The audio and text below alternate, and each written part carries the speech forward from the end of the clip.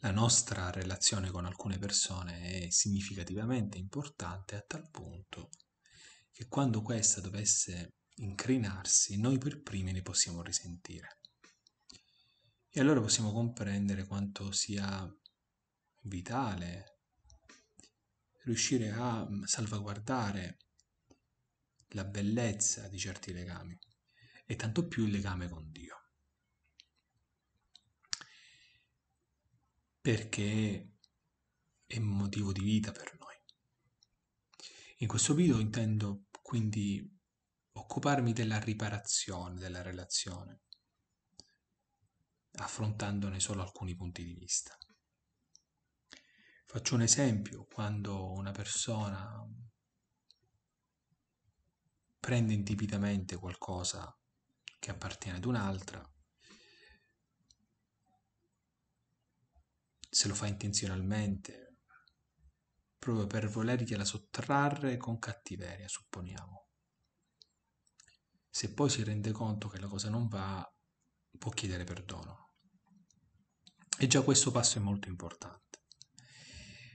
E resta però ecco, un grande punto possibilmente quell'oggetto va ritornato, se possibile, no?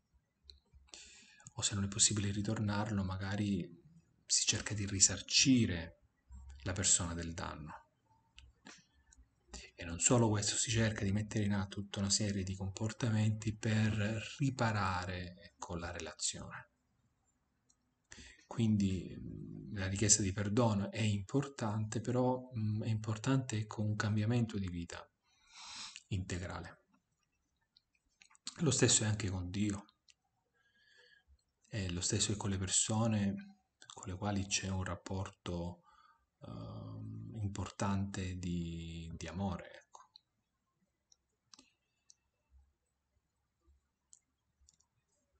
Supponiamo per esempio di confessarci, ricevuta l'assoluzione, siamo, abbiamo la certezza del perdono di Dio il quale Dio è sempre eh, desideroso di perdonare l'uomo.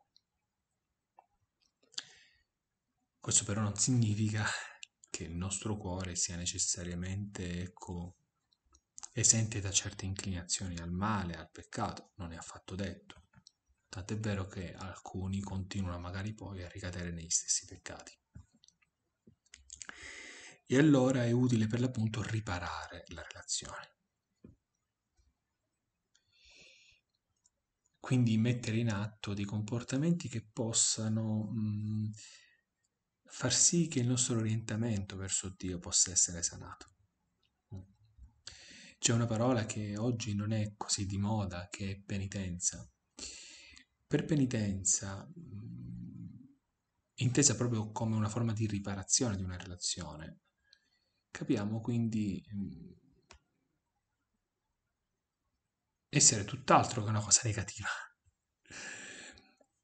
Perché può essere uno strumento no, di miglioramento personale. E allora è utile fare un po' il punto della situazione, cercare di comprendere quali sono le ragioni per le quali assumiamo magari certi comportamenti, usiamo certe parole, perché comprendere le motivazioni, comprendere i fini, ci dà un'idea mm, della qualità della relazione.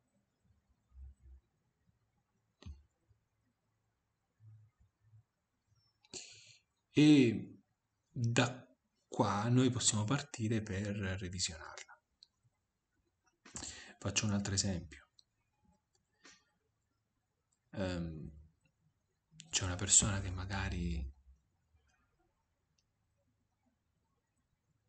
regala un oggetto, se si domanda come mai l'ho regalato, può darsi che risponda a se stesso l'ho regalato perché ecco, ritengo che sia proprio utile per l'altra persona, l'ho regalato con amore, l'ho regalato, insomma, tante belle cose. Un'altra possibile risposta che potrebbe dare a se stesso è eh, l'ho regalato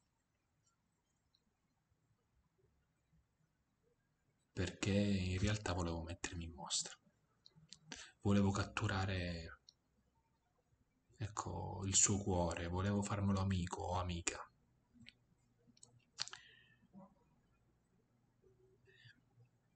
Ecco, l'esame del nostro cuore, un esame schietto, aperto, è importante per comprendere proprio la qualità di questa relazione.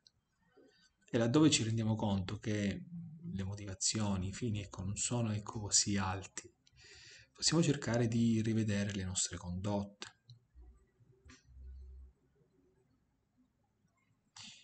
E riparare.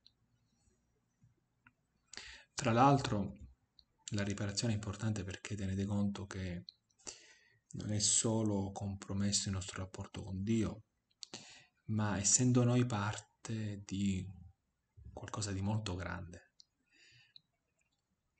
siamo all'interno di una rete sociale. Il venir meno di un contributo positivo da parte di uno fa sì che l'intera rete ne risenta. Se per esempio io non dovessi fare il bene che posso fare, allora altri ne risentiranno. Magari non riceveranno quel bene che avrebbero potuto ricevere e a loro volta non lo potranno dare, non lo potranno dare, non lo potranno dare. Cioè a cascata un peccato nostro ha delle conseguenze. Così come qualcosa di buono che facciamo per gli altri ha delle conseguenze positive.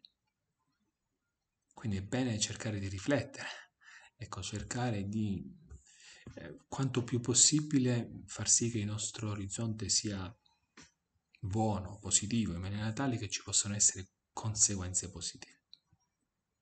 E laddove invece dovessimo renderci conto che alcuni comportamenti non sono ok, eh, cerchiamo di porre rimedio in maniera tale da mh, mm, limitare il danno e possibilmente con l'aiuto di Dio, perché no, anche ecco, davvero sistemare le cose. Ma ricordiamoci sempre che comunque è Dio che davvero attraverso gli altri, attraverso di noi, risana le relazioni.